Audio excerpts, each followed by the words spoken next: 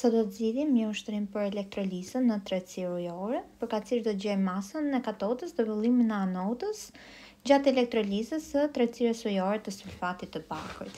Fillimisht kur kemi tretësirë ujore dhe do i nënshtrohet elektrolizës, ne do bëjmë shpërbashkimin e sulfatit të bakrit edhe ujit njëkohësisht. Atëherë sulfatin e bakrit do ta shpërbashkojmë bakër 2 plus plus jonet sulfat 2 minus dhe ujin në jonet hidrogjen plus jonet hidroksid. Duhet të kuptojmë se cilat jone do na shkarkohen në katodë dhe cilat jone do na shkarkohen në anodë. Duke patur parasysh rregullat, atëherë ne do zgjedhim midis bakrit dhe hidrogjenit për jonin i cili do shkarkohet në katodë që është e ngarkuar negativisht.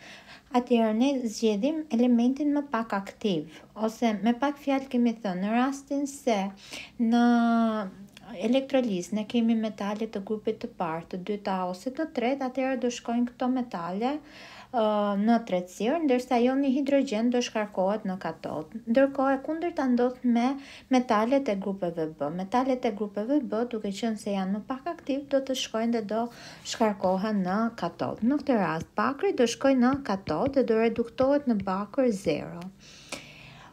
Ndërsa, për anodën do zgjedhim midis jonit sulfat dhe jonit hidroksid. Tek rregullat e anodës kemi thënë që në qoftë se mbetja acide ka oksigjen, atëherë në anodë do të shkarkohet oksigjeni. Oksigjeni përftohet nga grupi hidroksid dhe në anodë ne do kemi gjysmëreaksionin e përftimit të oksigjenit, katër jone hidroksid minus katër elektrone që na jep dy molekula uji plus gazin e oksigjenit.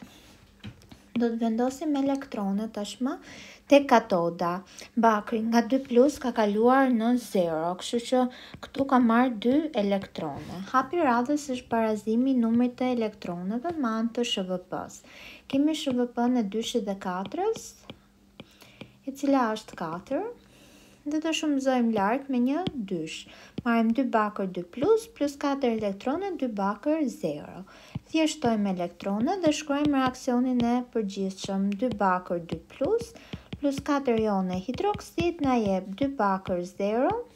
plus dy ujë plus oksigjen. Gjithashtu i shoqëroni edhe me gjendjet secilën.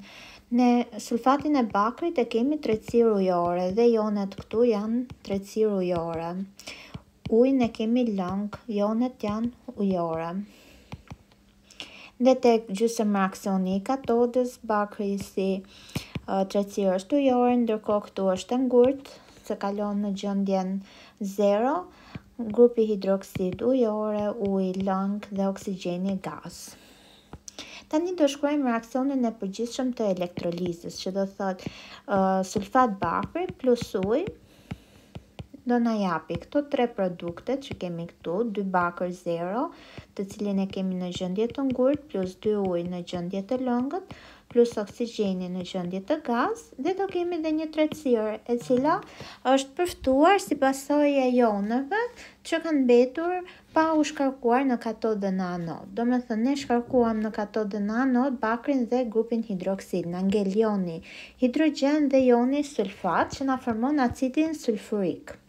Dhe produkti tjetër do jetë acidi sulfurik. Tani për ta barazuar kemi koeficientët. Dysh para jonit bakër, atëherë dy sulfat bakri plus katër para jonit hidroksid, katër ujë. Ne pjesën tjetër e kemi në rregull, vetëm barazojmë pjesën e grupeve sulfat. Kemi dy sulfat ktu, vendosim një dysh para acidit sulfurik. Vendosim gjendjet, kemi tretësirë ujore tek sulfatit, tek uji lëng dhe tek acidi sulfurik ujore. Shohim që nga të dy anët e reaksionit ne kemi ujë, kështu që do thjeshtojmë katër molekulat me dy dhe na ngelin vetëm dy ujë nga ana E majtë. Tani uh, mund bëni barazimin këtu dhe shohim. Gjeni masën e katodës dhe vëllimin e anodës gjatë elektrolizës në tretësirë ujore e sulfatit të bakrit. Kur na është dhënë përqëndrimi molar 0.1 molar edhe vëllimi 100 ml i tretësirës. Fillimisht ne gjejmë numrin e moleve të sulfatit të bakrit, që e kemi përqendrim molar herë vëllim. 0.1 molar herë vëllimi ishte 100 mililitra, që do thotë 0.1 litra, gjejmë numrin e moleve 0.01 mol. Atëherë në katodë shkarkohet bakri. Bëjmë raportin 2 mol sulfat bakri na jep 2 mol bakër.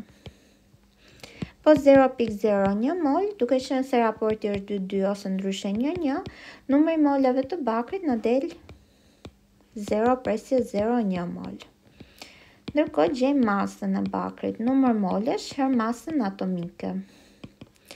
0.01 mol herë 64 gram për mol. Zero presje gjashtëdhjetë e katër gram do jetë masa e bakrit ose masa e katodës ndryshe. Në të njëjtën formë do veprojmë për vëllimin e anodës. Në anodë kemi oksigjenin, raportin do e bëjmë midis sulfatit të bakrit dhe oksigjenit. Tek reaksioni kemi 2 mol sulfat bakri me 1 mol oksigjen, atëherë 2 mol sulfat bakri.